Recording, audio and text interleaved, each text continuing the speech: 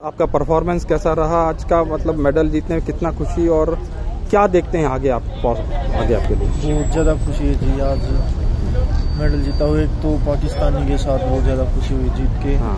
और आगे अभी एशियन गेम्स आ रहे हैं। उनके लिए एशियन गेम्स में गोल्ड लाना है फिर टोक्यो कैसा था आज का मैचेस सारे? पूरा अगर दिन भर में आपके मैचेस किस तरह से रहे?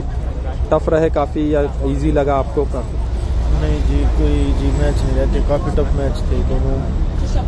तो चार मैच हुए जी बहुत ज़्यादा टफ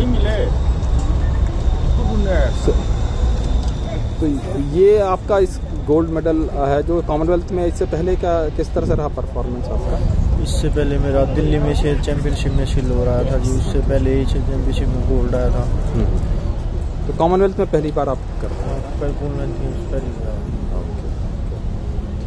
और ओवरऑल आपको कैसा लग रहा कि सपोर्ट वगैरह किस तरह से मिल रहा है फेडरेशन से गवर्नमेंट से लोगों से किस तरह से? स्पोर्ट्स ही बहुत अच्छी मिल रही है फेडरेशन से भी बहुत ही अच्छी मिल रही है और गवर्नमेंट से भी और दोस्तों से देशवासियों से बहुत ज़्यादा स्पोर्ट्स मिल रही है।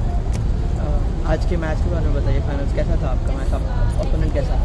ओपोनेंट फाइनल मैच मेरा हुआ नहीं असल में उसको इंजरी हो गई थी। चोट लगी फाइनल हाँ।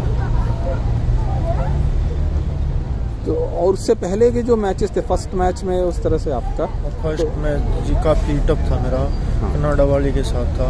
ओके और फ़र्स्ट मैच में हाँ वो बहुत ज़्यादा टफ था मेरा सबसे ज़्यादा टफ फ़र्स्ट मैच ही था।